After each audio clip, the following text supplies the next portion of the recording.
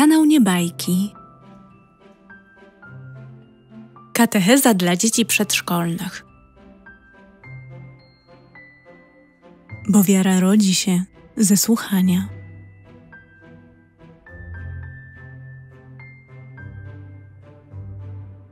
Odcinek 38.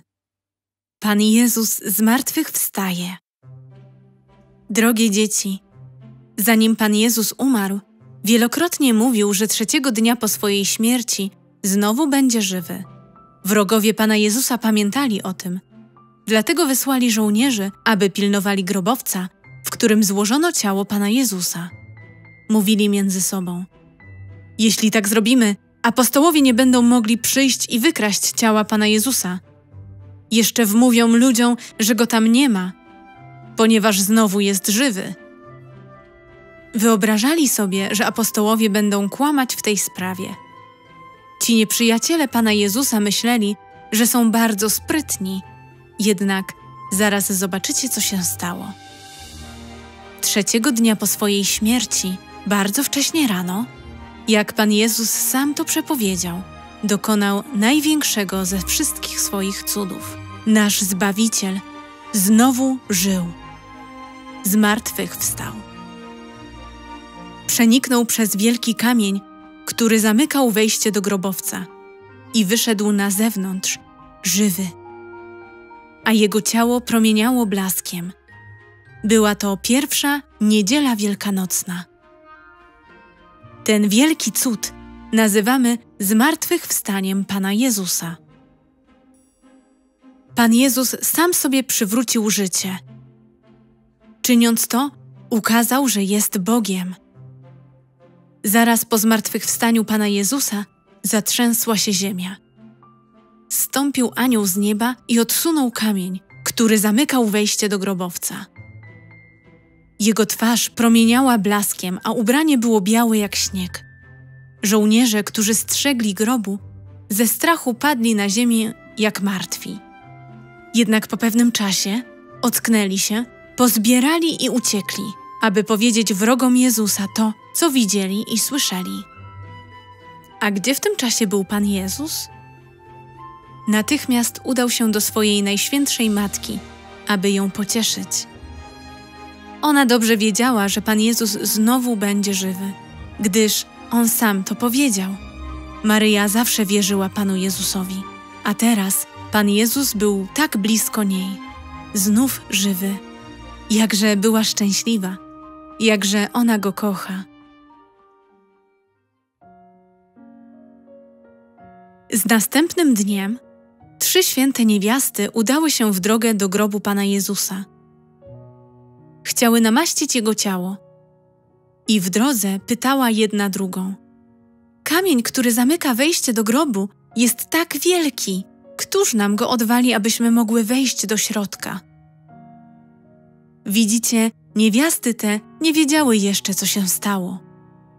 Gdy doszły do grobu, jakież wielkie było ich zdziwienie. Kamień był odsunięty, grób otwarty. Nie było tam jednak Pana Jezusa. Zobaczyły jednak anioła, którego się przestraszyły.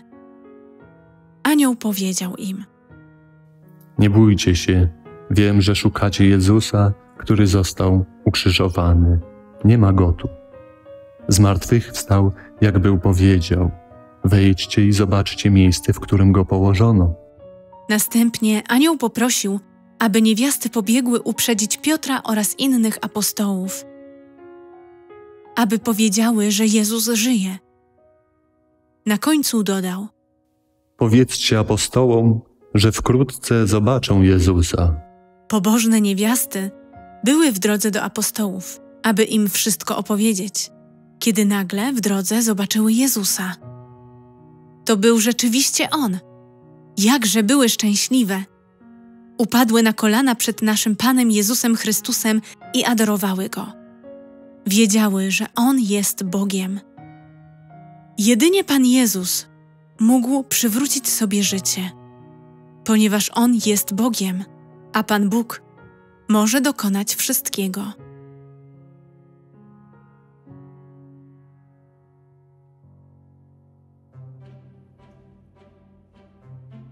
Jeszcze tego samego dnia Pan Jezus chciał ukazać się swoim apostołom. Byli oni zgromadzeni w jednym domu, ukrywali się z obawy przed Żydami, wrogami Pana Jezusa. Bali się, że oni mogliby przyjść i zabić ich tak, jak zabili Pana Jezusa. Wszystkie drzwi były pozamykane, tak bardzo się bali. Nagle Pan Jezus stanął pośrodku nich, nawet nie musiał otwierać drzwi, aby wejść do środka. Od czasu zmartwychwstania Pan Jezus miał ciało, które przenikało przez ściany i drzwi. Apostołowie byli tak zaskoczeni obecnością Pana Jezusa, że aż przestraszyli się. Pan Jezus powiedział do nich bardzo łagodnie: Pokój wam. Oto jestem. Dlaczego się boicie? Następnie pokazał im ślady po gwoździach, na stopach i dłoniach, a także przebity bok, aby uwierzyli, aby upewnili się, że to naprawdę On. Pozwolił im się nawet dotknąć. Tłumaczył im również, dlaczego musiał cierpieć i umrzeć na krzyżu.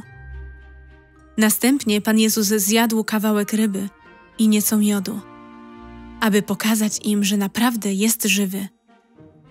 Apostołowie byli naprawdę szczęśliwi. Upadli przed Panem Jezusem na kolana i adorowali Go. Ich najdroższy Jezus znów był z nimi i to żywy. Tego wieczoru, w niedzielę wielkanocną, Pan Jezus powiedział do apostołów, że będą mieli moc odpuszczania innym grzechów. Będą to robić w Jego imieniu, kiedy On wstąpi do nieba. Każdy kapłan ma moc odpuszczania grzechów. Czyni to, gdy przychodzimy do spowiedzi. Dzień, w którym Pan Jezus zmartwychwstał, był pierwszą niedzielą wielkanocną. To dzień, w którym Pan Jezus, prawdziwy Bóg i prawdziwy człowiek, stał się znów żywy po swojej śmierci. To dla nas, katolików, największe święto.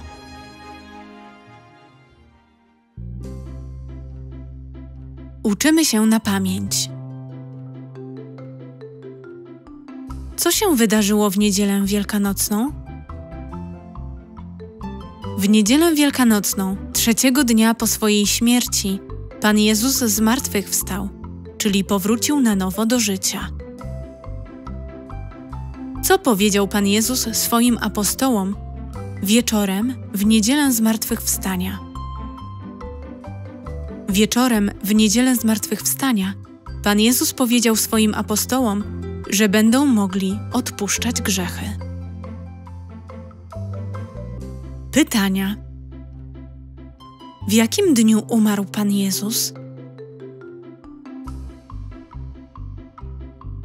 Gdzie złożono ciało Pana Jezusa po Jego śmierci? Co stało się trzeciego dnia po śmierci Pana Jezusa?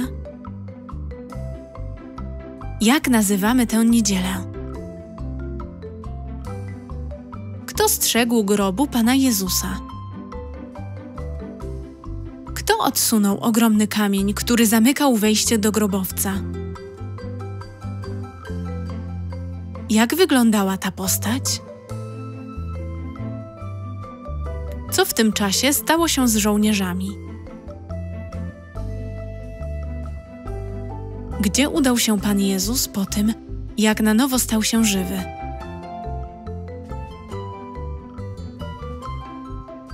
Czy Najświętsza Maria Panna wiedziała, że Pan Jezus ze zmartwych wstanie? Dlaczego?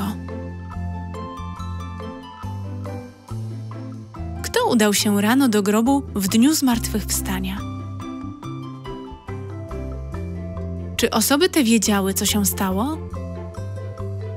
O czym rozmawiały w drodze? Co zobaczyły, gdy przybyły do grobu? Co powiedział im anioł?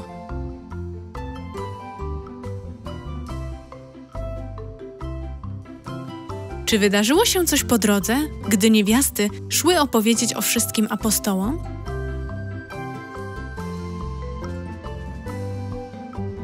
Co czuły te święte niewiasty?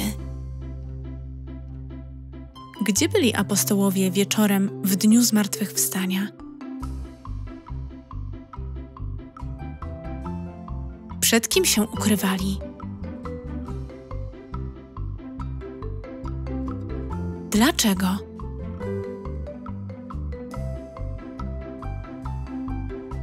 Kto stanął nagle pomiędzy nimi? Świetnie,